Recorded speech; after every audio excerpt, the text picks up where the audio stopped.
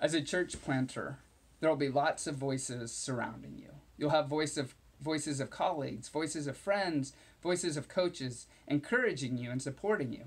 But every once in a while, some of those voices might contradict one another, and you might be wondering which direction to go. As a planter, you have to learn to listen to the voice of the Holy Spirit. It was that voice of the Spirit that initially guided you and started nudging you to explore church planting. I encourage you to create a rule of life so that you might have some spiritual disciplines and some rhythms to, to stop and, and listen to the voice of the Spirit. It was the voice of the Spirit that, that called the church into being in the book of Acts. And it was the voice of the Spirit that continues to help plant and, and build new churches today.